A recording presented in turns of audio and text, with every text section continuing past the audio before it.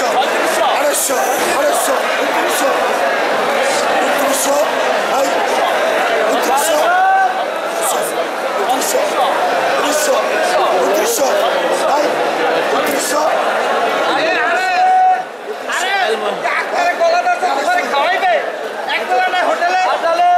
video হইতে আছে কিন্তু উল্টা কথা বের না আঠারোশো টাকা হালিতে মাছগুলো গেল মাছের সাইজ এক কেজি